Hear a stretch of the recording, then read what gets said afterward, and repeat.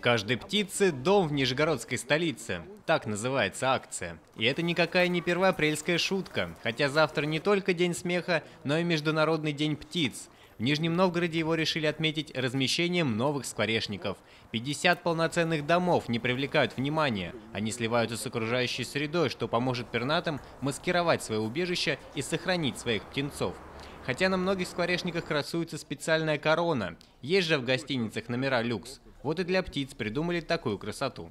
Съездили, собственно, на строительный рынок, купили весь материал. Я непосредственно принимал участие в постройке, выборе, шлифовке. Все это сделано руками э, реабилитантов. Это достаточно хорошее дело. Весна скоро прилетят скворцы, им нужно где-то жить. Но увеличение популяции это тоже влияет, потому что это улучшение условий их жизни. Естественных дупел очень мало в парке, и поэтому развеской гнездовий возможно увеличить это количество, что привлечет птиц как бы, с окрестных территорий, э, с зимовок, которые здесь найдут свое жилище. С помощью проволоки и деревянного бруса свой скворечник прикрепляет к дереву и глава администрации Нижегородского района Игорь Согин. Вспоминает, что сам когда-то их делал на уроках труда, а на биологии ходил сюда же, в парк Кулибина, чтобы здесь их повесить. Мы же вот в этом парке гуляем, мы а, его холим, лелеем, мы его благоустраиваем там всем миром. Э, и э, если человек каждый привнесет что-то хорошее, ну,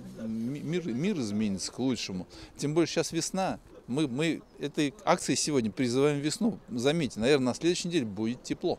Это очень важно для а, увеличения численности птиц, в частности в парке Кулибина. Я бы очень рекомендовала всем нижегородцам у себя во дворах, а, на дачах вешать скворечники весной, зимой вешать кормушки, подкармливать птиц, потому что птицы очень важны для нашего города, они спасают нас от различных вредителей, от насекомых. Осталось только вновь дождаться плюсовой температуры, и певчие скворцы с другими перелетными птицами скоро будут обживать свои новые дома.